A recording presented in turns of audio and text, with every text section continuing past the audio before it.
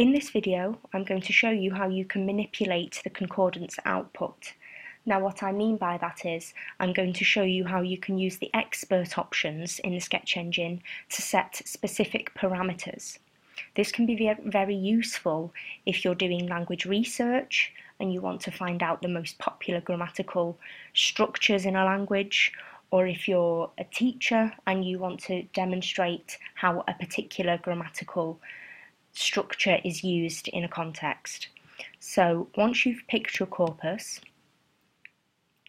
and once you um, have selected concordance, you will see here at the bottom on the left the expert options. Um, expert options for context, which when clicked will show you this entry form, and expert options for text types, which when clicked will show you this entry form. So in this video, we're going to select the context expert options. So within the context section, you can make various specifications on the lemmas or on the POS filters. Here, POS means part of speech. In this entry form, you can also specify whether the lemma filter occurs on the left-hand side of the node word or the query term, the right-hand side of the query term, or on both sides. And you can also state the window or how many tokens you want the lemma to occur in. The same applies for the part of speech filter.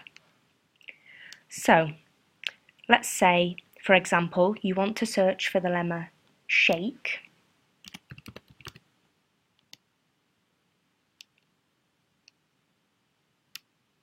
as a verb. But you want to search for the lemma shake followed by head as a noun to find instances of she shook her head, if you agree shake your head, and shaking their heads in disbelief. So you can use this function to do that. To do this, you either type in shake to the query box and specify the part of speech as a verb, and you type head into the context box with the part of speech as a noun.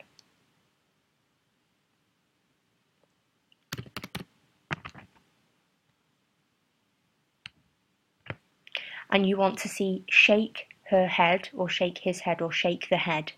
And you want to see the noun head occur in a, a window of, let's say, two tokens to the right hand side of the lemma. When you click Make Concordance, you will see this. Here we go, there are lots of instances of the phrase shook his head, shook her head. Alternatively, you can type in head in the query box as a noun and you can specify the lemma shake as a verb.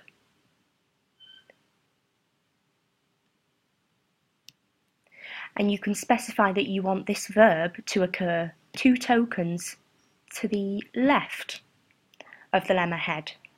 Once you make concordance, you will see this. Here we go. We've got our node word or our keyword in context as we specified in the query form as head. And two tokens to the left, we've got the verb or the lemma shake, which in this instance has been um, used in the past tense as shook and also in the present tense as shake. As you can see, um, using both, both methods to either specify head as a noun and shake occurring as a verb to the left, or specifying shake as a verb and the noun head to the right generates um, the same results.